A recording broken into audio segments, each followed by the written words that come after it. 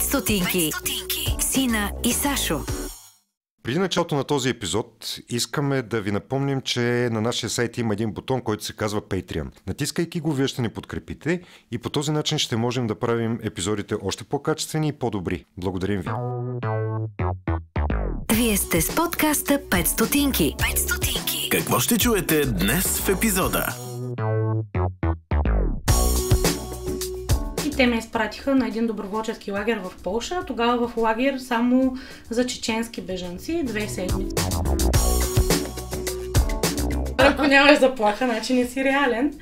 Лични не съм получавала, но може би защото аз не съм много активна онлайн. Казва, каза лекаря, вие сте първия критичен случай, който днес виждам докато, докато съм в тази линейка и трябва да ви намерим място. И нали започва това звънене. То, от този момент нататък някакси се доверих на лекарите, които са там и се оставих в техни ръце, но това притеснение беше за мен до момента, в който да вляза в... Много интересно също е как разпознаваш лекарите по глас. Аз никога няма да забравя тия гласове на те. Мисля, че бяха четирима, да, лекари. Тръгнах да се разхождам по коридорите и после паднах, защото не ми стигна въздуха да се пребера той. 5 стотинки. Сина и Сашо. Здравейте, нормалници! Добре дошли в днешния епизод на подкаста 5 стотинки. С Ина, която е срещу мен, и Сашо, който е тук при мен. Ам, благодарим ви, че отново сте с нас а, и че ще ни слушате в рамките на следващия час. А, днес сме с Катя от CVS. Стоянова и викаме. Добре бе, така ли казваме? А, Добре, фамилията и не е Днес а, искаме да ви кажем, че сме с Ка- Катерина Стоянова, нали, за да не объркам нещо. А, а пък а, ще си говорим за много работи, защото освен с това какво е CVS, защото може и за това да си говорим, ще си говорим и за последните няколко месеца, в които а, тя видя някакви много странни, не особено хубави на моменти работи, но ще се опитаме да го направим информативно и готино. Каквото обикновено не се получава с Катя. Да дадем думата на Катя да каже Да, бе, за да се представи, кажи и да здрасти. се представиш. Хайде, представи ни се така, както искаш. Да, аз съм Катерина Стоянова. Кат, обикновено ми казват. Моля всички хора да не ми казват Катя. А, на вас ще ви простя, защото сте супер готини. А, иначе някои хора ме знаят като се. Кат Чи. Така съм се борила в почта за един пакет, който пристигна на името на Кат Чи. Но и така може човек да ме нарича. Но по-скоро Кат, да. Доброволец, професионален доброволец, координиращ доброволци, обучител и човек, който, не знам, като види някаква нужда да се помага някъде, отвътре му идва така да се хвърли, напоследък се спира малко, спира малко тия пориви. И това е Катерина от CVS България. Ако си завършила, никога, аз никога не съм Завършила съм международни отношения в УНСС, или някой казват УНСС. Не с... По моите години беше доста така сериозно, така че не мисля, че е УНСС. Ама стига бе, Катя! Да, колеги. И аз съм завършил същото. Много малко преди мен. Да, когато наистина беше, ние бяхме 30 човека в цялата държава, нали? Еми, ние бяхме малко повече, а, но така не ни беше лесно да завършим, нека така да го поставя. Да, не беше особено секси. Което Усещам. обаче пък ни постави някаква доста добра основа, после да се гмуркаме в различни житейски попреща. Говоря за колегите, нали, и за- себе си също. А, аз така известно време плувах в някакви бизнес среди в България. Международна компания работех и изведнъж изплувах оттам и доплувах до, До неправителствения сектор. Ми не знам дали е светло или а, така, после се оказа, че е от обратната страна на Луната. Защото всъщност така е една много, много светла повърхност, която ти е нали, позитивна. Зад нея се крие много работа и много труд, който никой не знае и така не подозира. И Докато- никакви пари. Това, да, това е още по-така веселата част на нещата, но в България специално по-трудно става според мен с годините да се работи в някакви каузи. Истински каузи. След това, след дълго чакане да дойде прекрасната магистратура, която нали, ще ми направи един магистър, записах в Софийския университет социална работа с беженци и мигранти, защото темата за миграцията ми е, особено принудителната ми е една така много интересна тема и работа с беженци, мисля, че през последните 10 години може така да ме определи като професионално развитие. И когато тази магистратура свърши така положително, реших, че как така ще остана без да уча нещо. И в момента уча нещо, което накратко може да се нарече магистратура арабистика, но е свързано с култура на арабския свят и учение на арабски язик. Чакай, а ти не, не писа ли наскоро магистърска теза? А не, аз щях да пиша, но реших, че ще се явя на държавен изпит. А, и след това... Ще изненадам всички и ще се ява на Да. държавен изпит. Просто магистърската теза нямаше да бъде а, възможна в пандемичните, пандемичната обстановка. Тя беше свързана с а, проучване на бежанци, центровете на ДАП не бяха достъпни и реших, че ще се явя на държавен изпит. А, и след като приключи всичко това положително, една празнота такава академична остави в моята душа и бях подхлъзната от една приятелка, Ива Парцалева, ще я съобщя в ефир, а, защото трябва да се чувства виновна за това. И тя само доброто ти мисли, Да, според и мен. така двете се плъзнахме и още няколко колеги в тази интересна специалност. А, И сега ни предстои сесия, което също е така едно забавно събитие, според мен. Аз да- Различно събитие, да. Да направя една оговорка. Ам, преди колко преди година и половина, може би, ти ми подари една книга. И ми каза, аз имам пръст в тази книга. И вътре има разкази. Разкази за бежанци. А, и аз а, я оставих тази книга и казах, тя Катя има пръ- пръст в тази книга, сега тук разкази за бежанци, кой ще ги чете и така нататък. И една вечер си я хванах, отворих я и си викам, дай да видим сега пък какво па толкова са направили. Къде е пръста? И започнах да чета и всъщност вътре има някакви уникално добри текстове.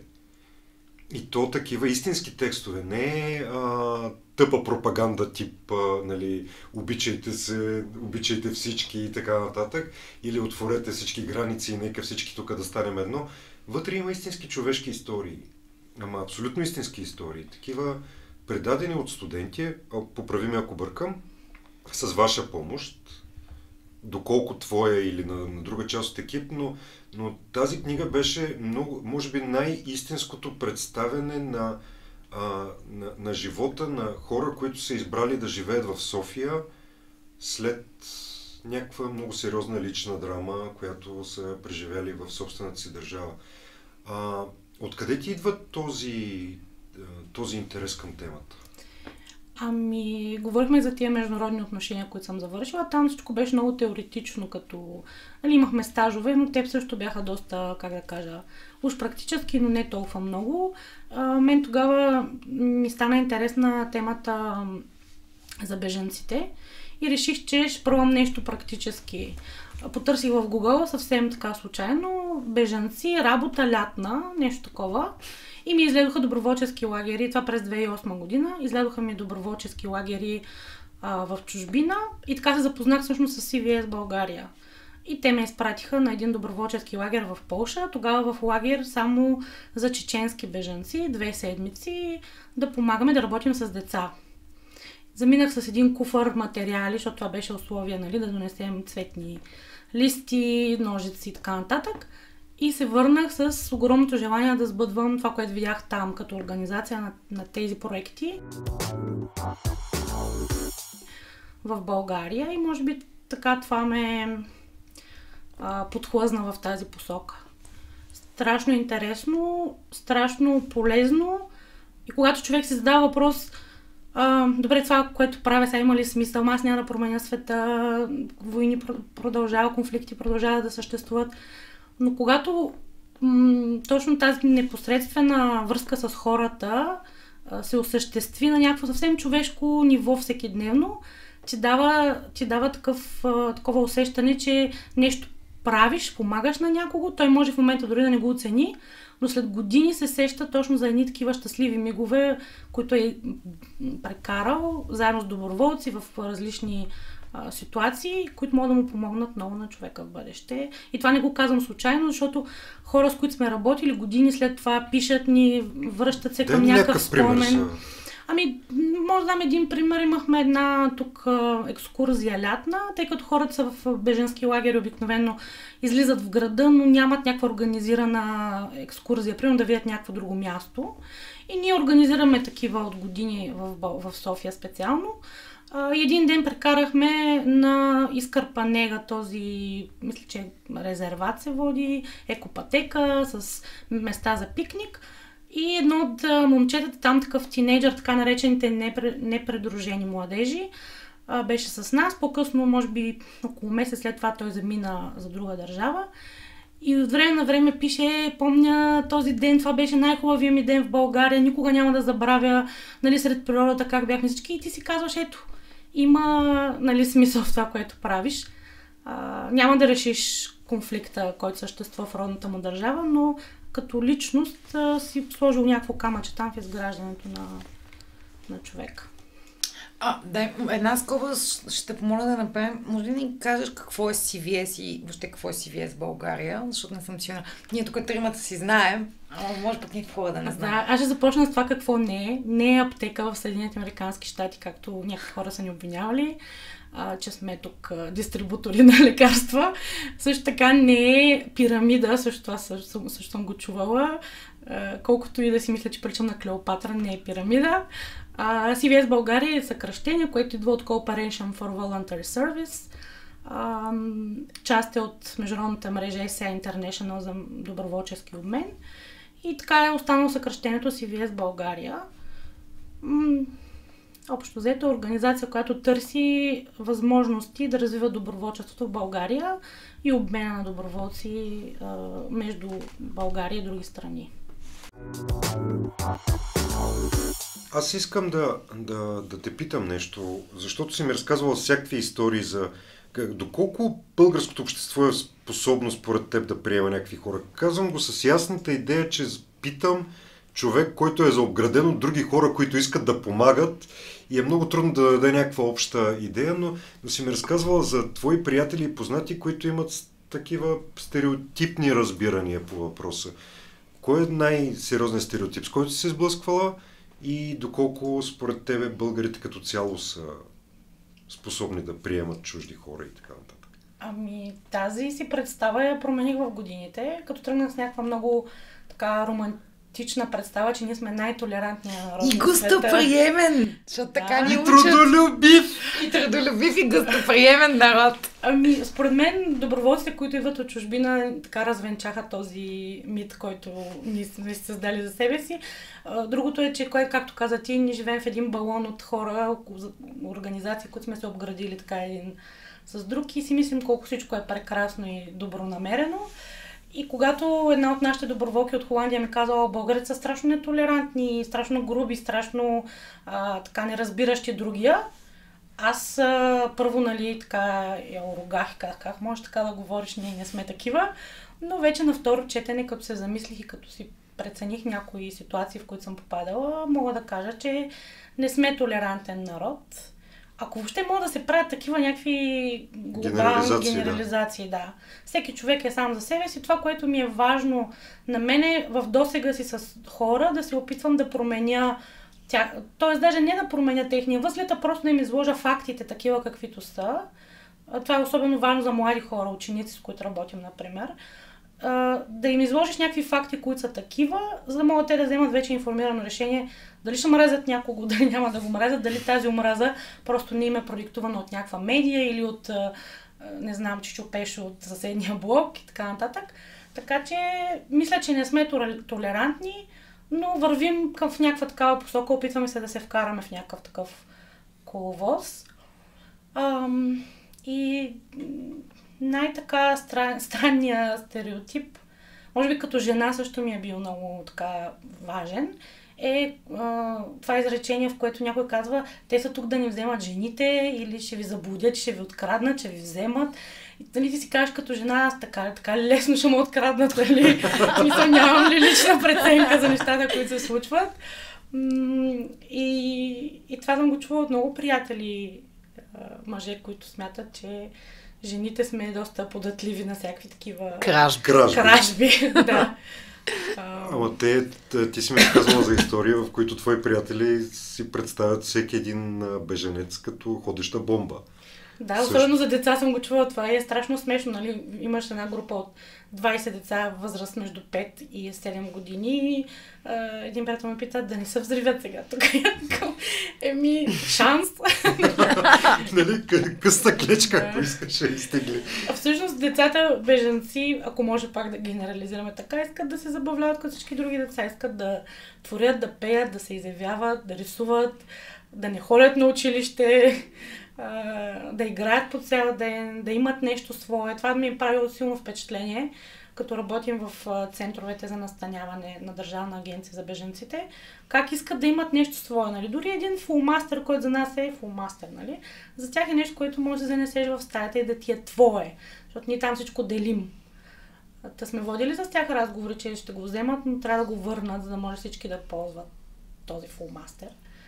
И затова е много важно. Ние преди години, поред, поредни години правяхме една инициатива с звучното българско название Toy Drive, в който за 1 юни събирахме различни подаръци за децата, за да може всеки да получи нещо индивидуално и да има нещо свое. Защото винаги трябва да делят нещо с другите и да се ползва в класните стаи. И това да ги направиш щастливи, да. Ти казваш, всички деца искат да играят и искат да, да имат нещо свое и да не ходят на училище. Сега се замисля, това е правилна характеристика. А ти какво дете беше? Хм. Ами, според майка ми съм била доста любознателна.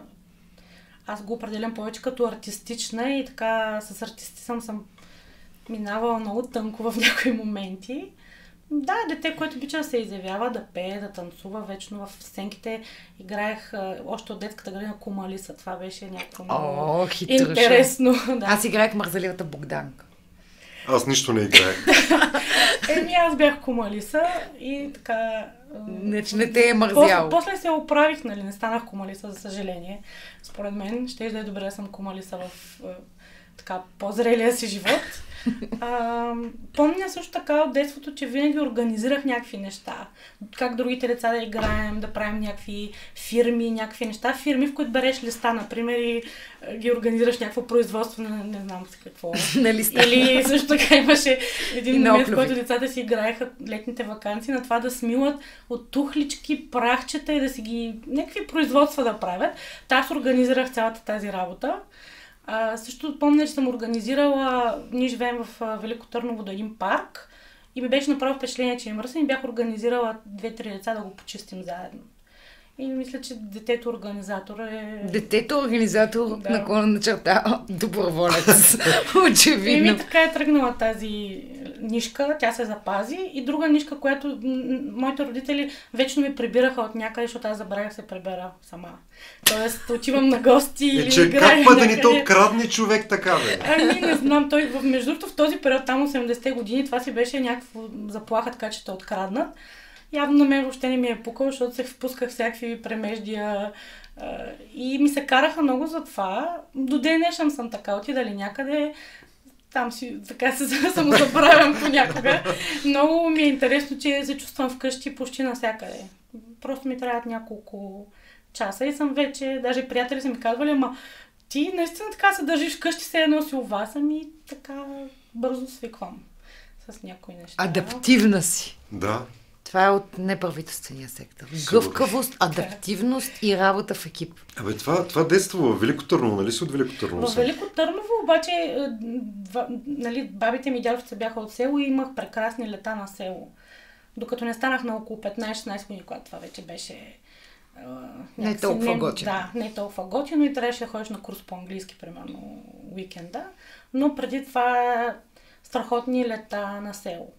И това ми мисля, че много липсва на децата сега. А, да са някъде и по цял ден боси, мръснички, окаляни.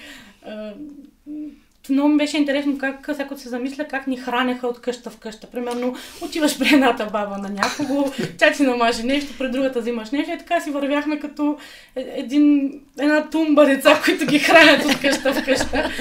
И пак Бабите си поделят разхода по отглеждането. Абсолютно, Да. да. Да. Само, може би е било организирано за нас, беше като приключение такова. Също да откраднеш сливи от двора на съседа, той да те гони с пръчка, това си е част от преживяването. А сега няма съседи по дворовете, а сливите си седат по дърветата. И Някой Да. може би иска да им ги откраднат, обаче може би вече няма. Вече кой. няма кой да Тогава ми ни гонеха стабилно, нали? Да, да, да, ние т- ябълки. Не, в смисъл, каквото, каквото намерим всъщност, де, но колелата, това не, така беше едно много важно от лятното ти преживяване, да си с колелото на някъде.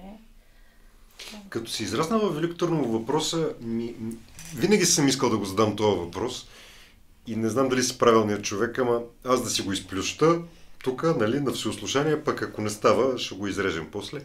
Ам, там, на, на фона на всичкия този исторически каманак, това място, което е пълно с неща, които са съществени за тази държава.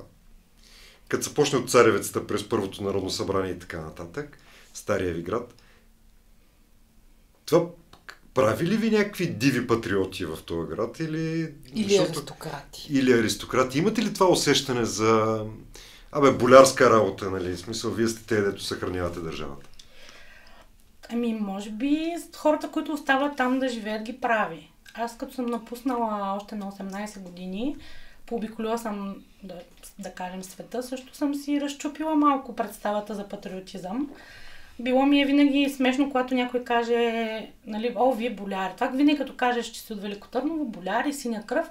А сега се шегу, шегувам с това, тъй като болярите те са били избити още много отдавна, така че не може да се каже. Но, примерно, знам, ние сме от ен... моите родители са от едно село, което е близо и там си има някаква такава легенда, че болярите са избягали там и виждаш ли селените в това село са боляри. Така че сигурно има някаква Там такава... е аристокрацията на аристокрацията. Да, за съжаление, напоследък наблюдавам така през последните години, че има и доста така клонящи към крайно дясно представи за патриотизъм. Там виждат се по стените в някакви... Това се опитвах да вържа. Ти помагаш на, на хора, бежанци, които идват, нали, това е малко, нали, абе, предизвиква известни полемики в обществото.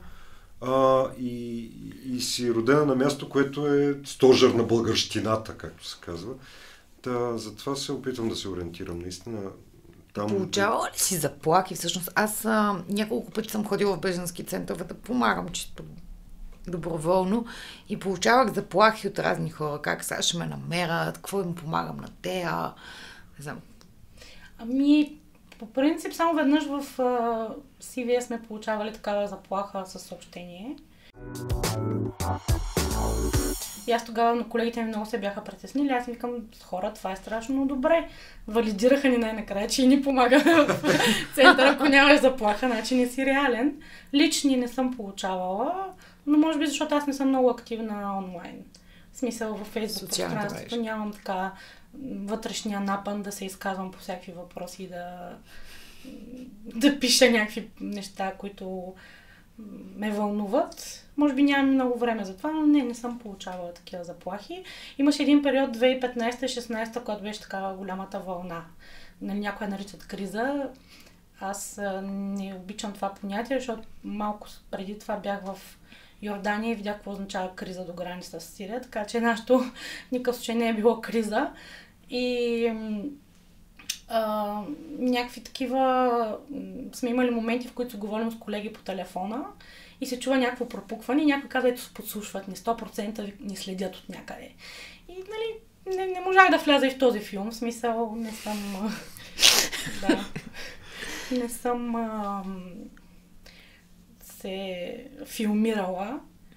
А, но мисля, че той страха идва от а, това, как да кажа, когато те заплашва някой, когато е анонимен, не знаеш кой е от срещната страна. И обикновено в онлайн пространството заплахите са точно такива. Ако видиш кой е на среща ти, ще е по-лесно, нали? Но да, за щастие, не знам, може би работа, която върша не е толкова важна, че да са намерили а, смисъл. Тя е важна за, за, за хората, които, които се възползват от резултата от нея, така че да. Ам, Да минем към другата да, да минем към другата тема. 5 стотинки. Сина и Сашо. Тук правим остър завой. Не, то не е острата от едната криза в другата криза. От едната криза в другата 2015 криза. си мислихме, че невидимата ръка на мюсюлманина сириец ще дойде и ще открадне жените ни, който някакси българското общество не разбра, че сирийците, голяма част от тях са християни, но това е друга тема. Сега невидимата ръка на неспособността на нашите управляващи да се справят с COVID предизвиква съвсем реална криза. В а, други епизоди на Пете стотинки сме си говорили с хора, които са били доброволци в а, COVID отделения, а, които са видяли различни неща от, а, от това. Винаги питаме обаче а, това, че са влезли в, а, в такова отделение, дали, дали им променя по някакъв начин светогледа. Теб обаче ни се иска да те питаме как, какъв ти е светогледа към нашата държава, след като не само влезе, ами и остана по не доброволческа, а съвсем по, по другата причина. И какво се случи? Помня, че имаше един момент, в който се опитвах да си говоря с теб и ти беше много... Out of space. Ами, ам, за първ път говоря пред някаква по-голяма аудитория за това, защото до сега си въртях плочета пред при- приятели и близки. Но общо дето, ако може да започне така, имало едно време един човек, който си правил планове, какво ще свърши през ноември, декември и как ще свърши 100 000 неща и въобще ще направи чу- чудеса от храброст, а, който дигнал, тем... която всъщност аз, дигнала температура над 39 и така след 10-12 дни борба с вируса а, се налага, се наложи да вляза в болница. И всъщност вируса не е толкова страшен. Да, тежко преминава при някои хора, при мен премина по-тежко, но се преживява, нали? Болите всичко от А до Я, но се преживява. По различно време, между другото. Това е характерна Всеки- черта. Всеки питаше какво, какви симптоми имаш, викам, питай какви нямам, защото при мен всичко си идваше, този ден имам това, другия ден примерно нямам обоняние, третия ден, нали, както си е, трябваше да го отбелязваш, нали, по такъв списък, чеквах си всеки ден какво имам и какво нямам. Ам, так, така след 12 дни в къщи, т.е. даже още на 10-я ден, се усещ, усетих, че вече трябва да се потърси някаква по-сериозна помощ. През цялото време бях в връзка с личния лекар по Viber. А, човека така си беше назначил сериозно лечение, но аз като съвестен гражданин смятах, че не трябва да ходя никъде, защото съм под карантина и ще се оправя нали, в къщи, защото съм млад човек. Обикновено младите хора не, не теглят късата клечка. Явно не съм толкова млада вече, но или просто съм в някакъв такъв, да, някакъв процент, който е по-тежко го развива, защото развих двустранна пневмония, но аз това не го знаех до момента, в който един приятел каза, вземи си апарат за мерене на Сатурацията. сатурацията. Тази... Вече съм магистър по мерене на сатурации и разчитането на данните от Значи сатурации. международни отношения, то беше другото, и арабистика, нали, и сатурация. Сатурацията е, да, много важно нещо. На кой пръст си мериш сатурацията? А, важно е да няма лак и може така мериш си го на безименния или на... Да, на средния, точно така. Някои на средния го мерят. Но всъщност, а, така, по това, което пише в интернет, ако ти е под 90, трябва да потърсиш вече лекарска помощ. В единия ден, в който аз още нямах този оксиметър, дойде линейка. Набързо ми се скараха хората в линейката. Как може аз така да ги викам? Госпожа, това е COVID, нали? А, какво си мислите ви, че така леко ще мине?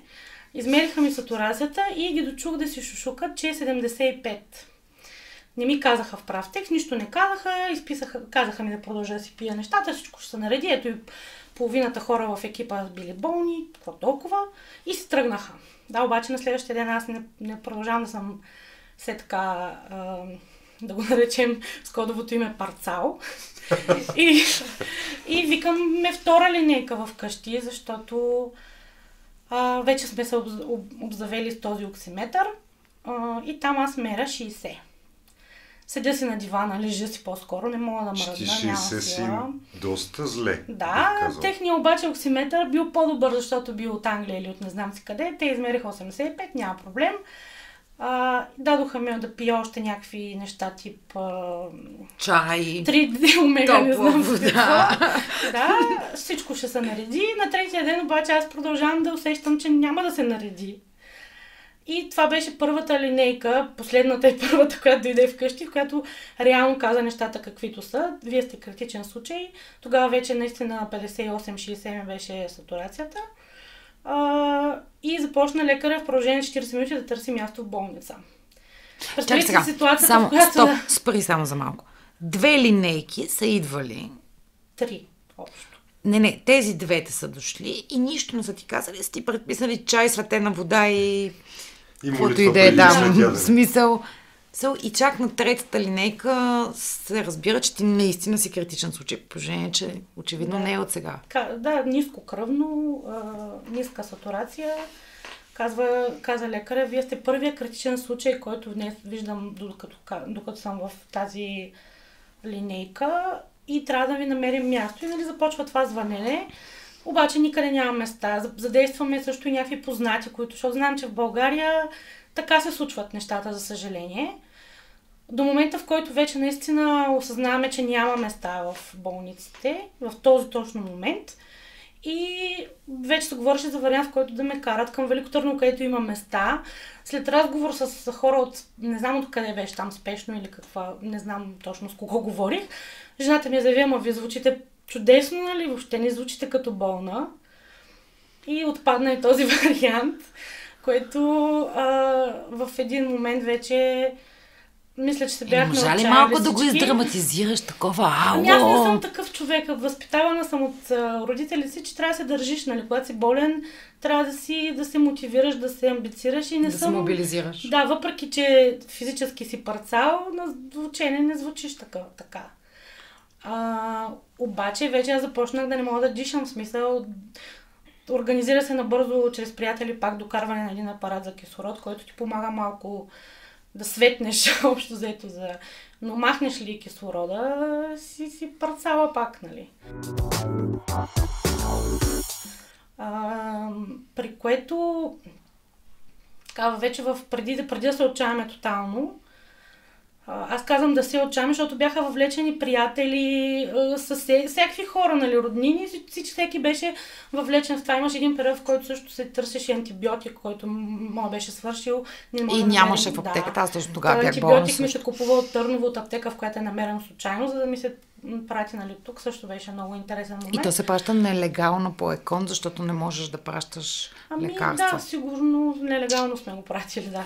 Тук ще ни арестуват заради това. Да. За мен най-страшното нещо, което може би а, ми се случи психически в този момент, беше да осъзная всъщност как организация няма и как ти като гражданин, който си е плащал данъците, смята, че допринася за обществото, всъщност си оставен.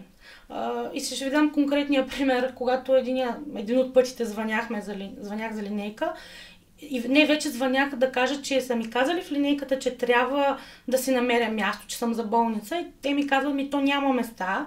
Аз казвам, добре, записвате ли ми някъде данните, че съм се обаждала, защото предполагам, че ако се освободят места, нали, в моя координаторски мозък, системата действа така. Имаш лист с чакащи хора и ако се освободи някъде място, ги разпределяш. От другата страна ми се отговори, че трябва да звъня постоянно и ако едва ли не имам късмет, Ако случи. да пробиеш, Да. влизаш.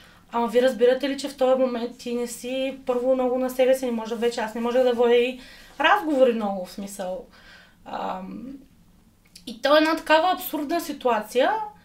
А, и така, за, за щастие, познат, който е, работи в Пирогов, ни каза, че изписват много хора същия ден.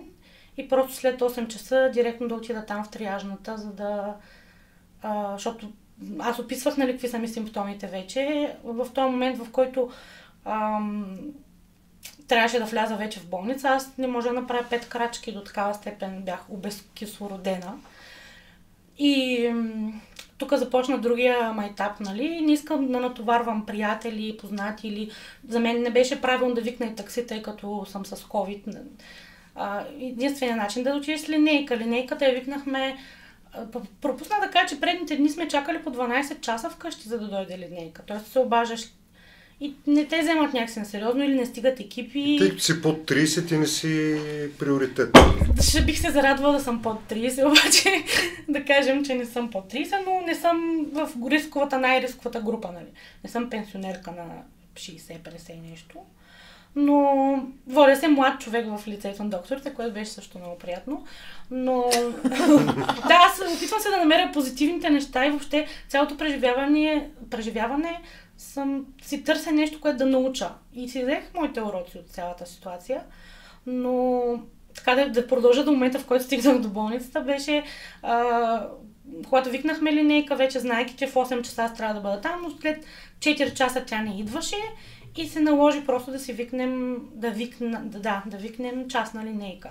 И сега това е най-големия парадокс и смях в залата. А, аз живея срещу Пирогов на 150 метра. Просто аз не може да ги направя физически да отида пеша. Не исках да ангажирам хора, за да не ги заразя. А, и за сумата от 150 лева отидох до Пирогов с линейка. За 150 метра. Те ми се извиниха хората от частната линейка, просто имат такъв разход явно и така нататък, но то вече в този момент... Пука ти, ти дреме, да. А, няколко часа след като в триажната ми, ми вземаха кръв, дадоха ми си там кислорода вече да се дишам, защото аз наистина не можех да обясня какви лекарства вземам. До такава степен се задашах се докато говоря. А, бяхме аз един дядо, много приятна картинка в триажната, може би 4 часа. И накрая не А триажната са те фургончетата навънка на студа? Не, те вътре са, в, мисля, че да, в Пирогов са вътре, но една стая, в която преглеждат хората и ги разпределят и решават много млади нахъсени лекари, разтропани, така да ги нарека, решават дали си за хоспитализация или си просто кашляш и трябва да се пребереш вкъщи, защото имаш и хора, които така са дошли. И това беше, може би, най-голямата грешка, че аз не, не отидох в началото точно там да си стоя и да чакам. Направиха ми скенер и като видяха снимката на изкристализиралия бял дроб, ми казаха, че ме приемат в може би в 10 часа и някъде към, може би 2 часа вече аз си бях настанена в една стая на 6 етаж на Пирогов. И мога да ви кажа, че облегчението беше абсолютно, когато стигнах до тази стая. В то, от този момент нататък някакси се доверих на лекарите, които са там и се оставих в техни ръце, но това притеснение беше за мен до момента, в който да вляза в, в самата болница. И да, и там си постоях 22 дни, което беше... Всъщност, една от големите паники и психични травми, които според мен в момента се получават на хората. И аз по себе си, аз изкарах също COVID, хората около мен също го изкараха, някои по-леко, други по-тежко, т.е. други влязоха в болница, но за мен най- най-големия страх и това, което ми причиняваше най-голяма тревожност е, че няма да има място.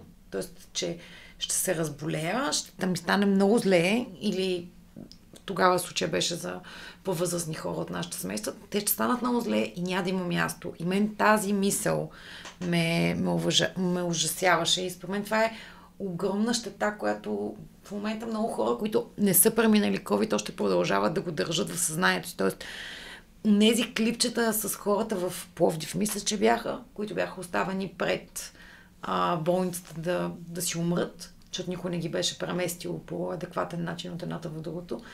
Това е огромни, огромния страх. И сега, слушайки разказ, разказа ти, всъщност това е, това е най-големия страх, а, че аз съм просто просто смъртен и те ще ме остават. Да, при мен, честно казано, страх може да се прокрадва един-два пъти така. И то беше по-скоро дали нощ мога да дишам и въобще в този смисъл, докато спя, нали? Но иначе не ме е било толкова страх, колко ми беше яд.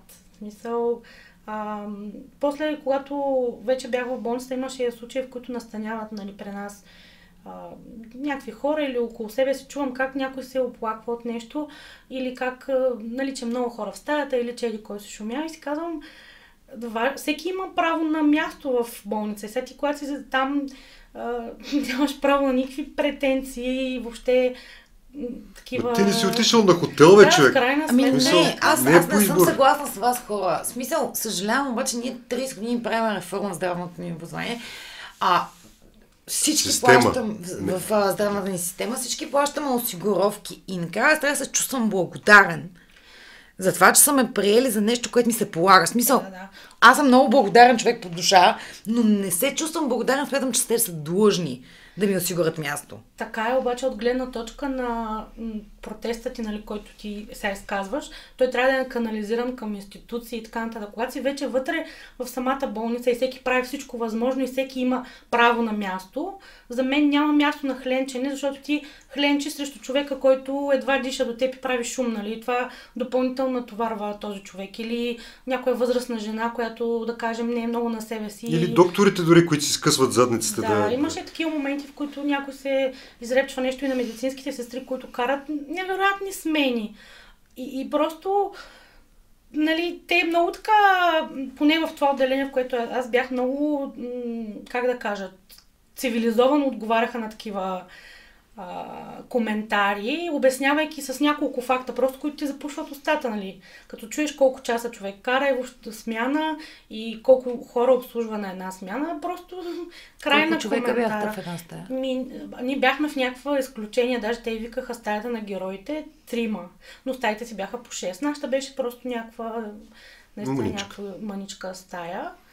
Ам, и за тия 22 дни аз просто първо някакво едно смирение си дойде при мене и слушане на разкази, тъй като ние бяхме в женска стая, нали, нормална стая от жени, слушане на разкази на по-възрастни жени, защото всички около мен бяха наистина по-възрастни.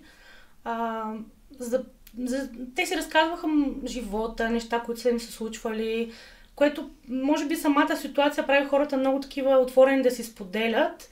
За мен си беше, даже аз се шегувах, че съм изкарала два-три курса за снахат. Нали? Те обясняваха такива неща от живота и превратности, които те кара да си мислиш как нищо не ти е дадено от никъде и как в един момент имаш нещо, после го нямаш и някакви такива, не знам, превратности, които може да видиш само от дистанцията на времето. Една 60 годишна или 90 годишна, 80 годишна жена може да разкаже такива истории, които а, не знам, аз мисля, че трябва да вляза в някаква книга след време, когато се отълва. В която ти ще имаш пръст. Да.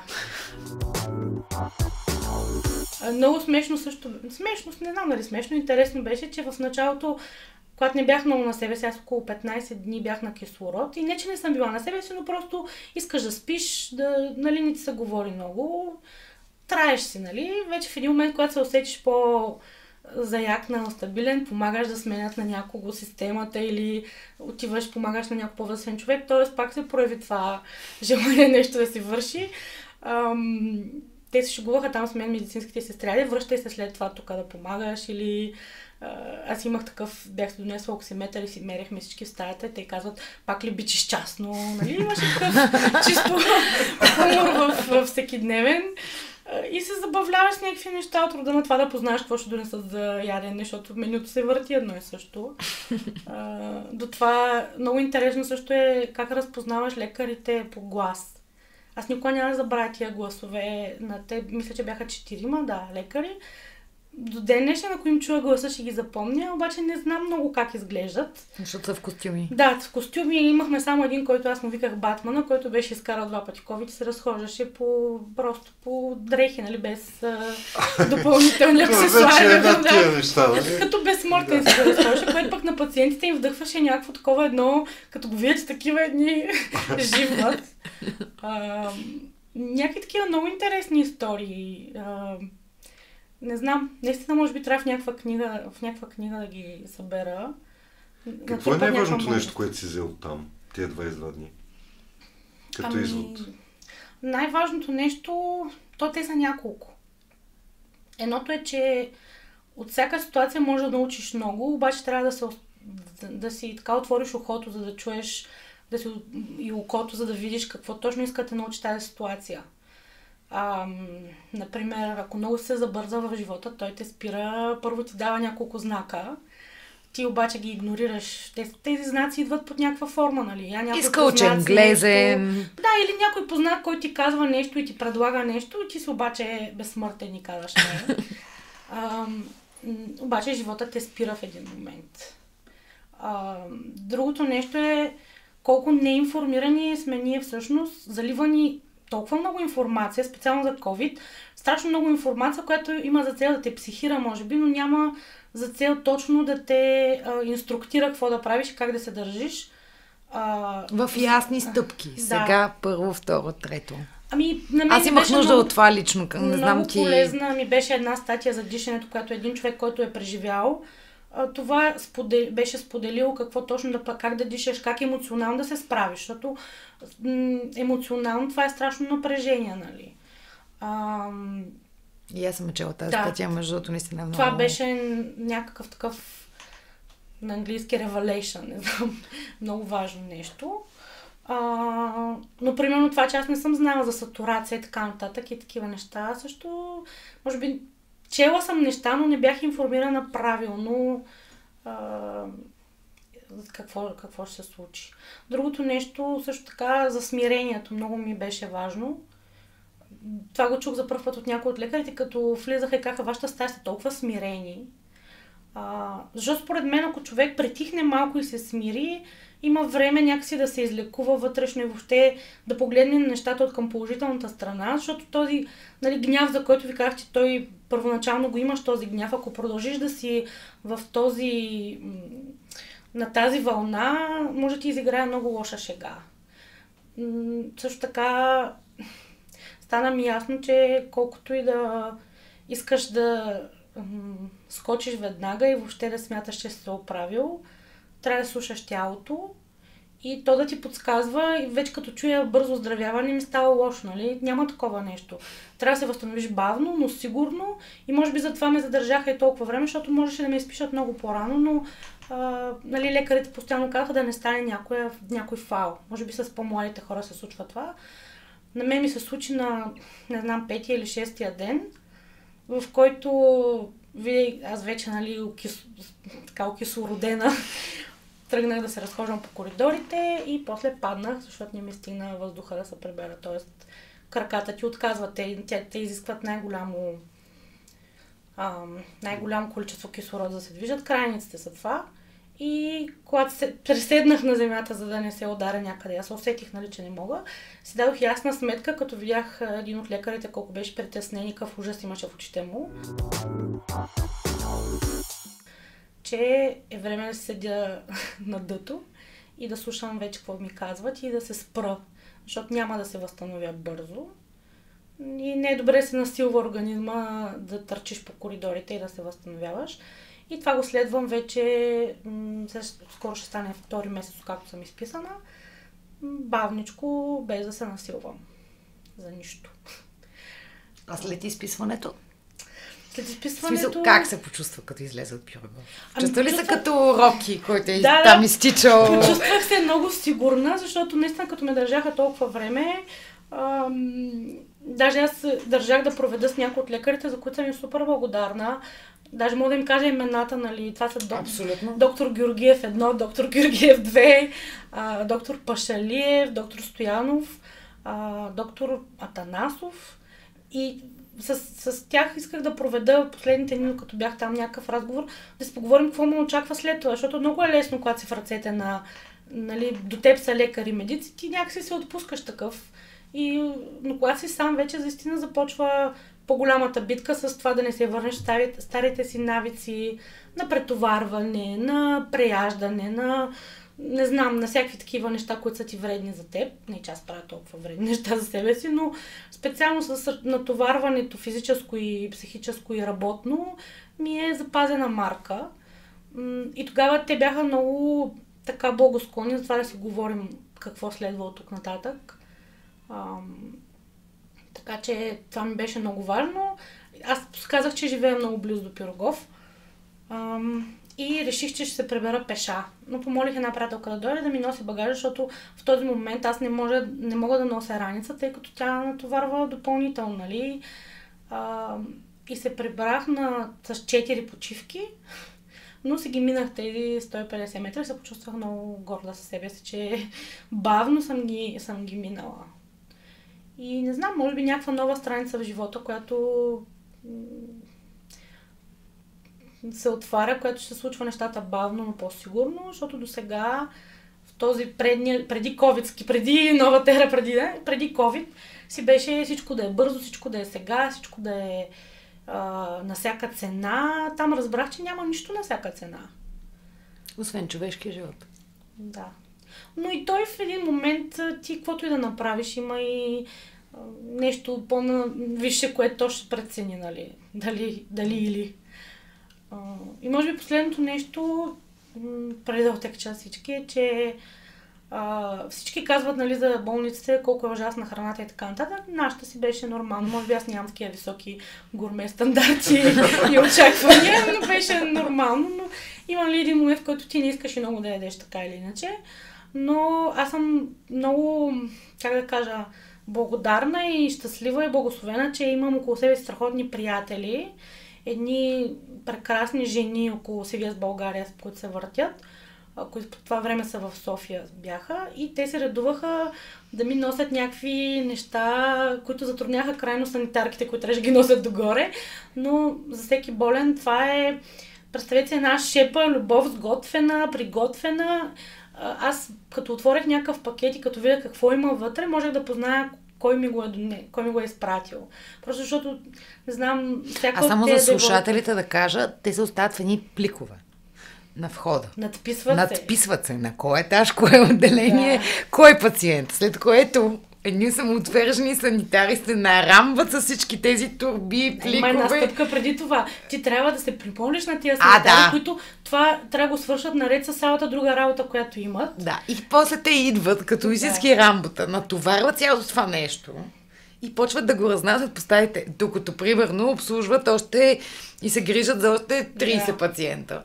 А, така че системата за носене на неща наистина е първо много сложна, второ а, аз понеже ходих пък да оставям, нали, е някакъв много мил жест, който те свързва много емоционално с този човек, на който оставяш нещото.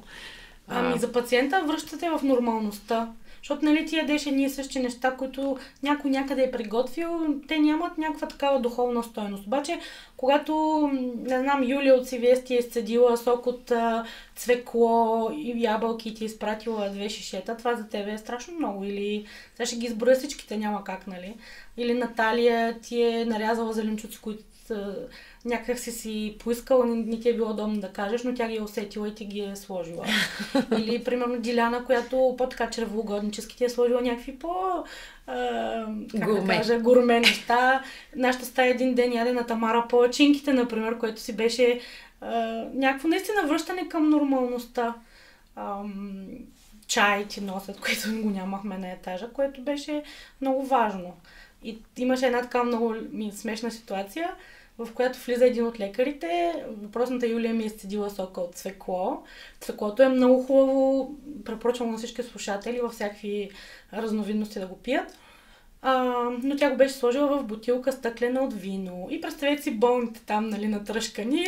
Една бутилка, а, някакво каберне сменьон на шкафчето и един от лекарите изпада в някакъв такъв яд. Как може да донесете вино тук, нали, вижте колко всички сме, нали, смисъл, че не сте добре, не е хубаво да пиете и аз вече съм се изчервила, вече имах цвят на лицето някакъв, но това е цвекло, нали, не е вино и някакви такива дребни, весели ситуации остават, може би това ще остане по-нататък. Това е едно от нещата, които със сигурност ще ти останат. Да. Ма не точно като ситуация, като топлината и това, което вие сте давали, да се върнем към първата част на разговора с CVS бежанците и тези деца, които са искали да имат нещо свое и са го получавали и така от някакви хора, които не, не са задължени да им го дават. Нали? Смисъл, те и приятелите ти не са задължени да ти готвят и да ти носят цве- цвекло, но Да. го правят. А, и може би това поне е моето, моето 5 стотинки от цял, цялата работа, че, че трябва да, трябва да даваме, за да получаваме, защото когато даваме, получаваме. И ти си получила също, разбира се, от приятели, но все пак. Да, ми доста хора, аз не бях казала, може би, да, не обичам да разказвам или да тръбя, ето аз съм в Пирогов, нали? Но по някакъв начин хора, които бяха разбрали, също така огромна грижа, след това разбирам аз, нали, защото имаш един дебрифинг след изписването, какво що. Истински обучител, kaže, направите Да, брифинг, смисъл, да. Им, имахме един час в Viber с приятели, обаче те са имали отделен час, в който се разбират кой ще донесе какво или някой, който не е в първия чат да бъде ем, така да, да разбере какво се случва по принцип. Но така най- най-голямата не знам, той като шок такъв е, че а, по времето, когато аз съм вече била там пети ден или кой, сестра ми също се разболява в Търново и също е в болница. Обаче на мен никой не ми казва, защото лекарите са казали да не ми се казва, да не се издухам, нали? Те не са знаели, че аз съм невероятно силна психически, невероятно позитивна, но са преценили. И когато ми го казаха после сестра ми, когато ми го разказа, как всички мои приятели това са го държали като някаква тайна.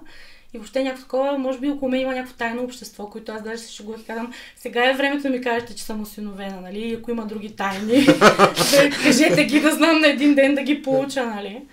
Но да, и подкрепата, която мои приятели са оказвали на майка ми, когато в този момент е била така по емоционална, също е много важно и, и нали, наскоро си говорихме, че изисква чувство на благодарност, но то не е някакво, защото някой е направил нещо за теб да си благодарен, то просто се ражда това чувство. Нали? А, да, всеки би направил същото в тази ситуация, казва някой, но не, не е така. Не всеки би направил а, много неща. Така че благодарността според мен е много важно както за самия човек, който, на когото е помогнато, така и за хората, които са помогнали, просто като, не знам, обмяна на някаква позитивна енергия също. И да, и да не се забравя, че... И как се пееше в онази хубава песен, по-полека, по-полека, забави, забави. А, аз много вярвам в това, което каза ти, че трябва да си слушаме тялото, че трябва да се забавим малко в вихара на ежедневието ни и че тялото ни и че ни дават много и различни сигнали, които ние игнорираме, докато накрая не трябва да, да. да слезем най-додолу, така че по-полека, по-полека. Бих казала само на хората, които ни слушат, следете си тялото, защото и също така се дръжте в състояние, в което сте отпочинали, а, нахранени, здрави през цялото време, защото COVID според мен издебва такива едни пролуки, които ти сам си нали, леко си настинал или не си спал три поредни нощи, защото си писал проект, примерно. Той, той много хитро ги оцелва тези моменти. Да, аз съм сигурна, че мен ме оцели така. Да, в смисъл... при мен също се случи нещо подобно, затова казвам, ако човек се грижи за себе си, а, нали, да направи максималното, за да избегне това, не мисля, че може да му се случи чак толкова а, лош, в лош вариант. Много мои приятели го изкараха по-леко, нали, без а, такива ексцесии. И да, истории, слушайте историите на хората, защото те са страхотно богатство. В смисъл, стига, нали, както казах, да имаш ухо да ги чуеш и знаците да видиш, това е много важно. Нещо и може да научиш от всеки, от лекаря, който те преглежда, до бабата, която е до теб, от абсолютно всяка ситуация може да научиш нещо и по-полека, по-полека да стигнеш до по-далеч. Благодаря ти, Кат, за мен беше удоволствие. Предполагам, че и за Сашо. Това беше всичко от днешния епизод. Споделете го с други нормални хора, за да чуете нормалната истинска история на нормалната истинска Кат. А, споделяйте, шервайте, коментирайте, влезте на сайта ни, подкрепете ни през бутона Patreon и, и се надяваме да се чуем отново с вас следващия четвъртък. Благодарим на вас, че ни изкара, изтраехте до тук. А, благодарим и на хората, които подкрепят този подкаст, а, вече наличните ни патрони, както и на хората, които са ни подкрепили от началото до сега с различни неща. Няма да ги изброяваме отново. И от мен също така до следващия четвъртък и до, до още интересни неща. Чао! Чао. Останете си нормални! 5 стотинки. Сина и Сашо.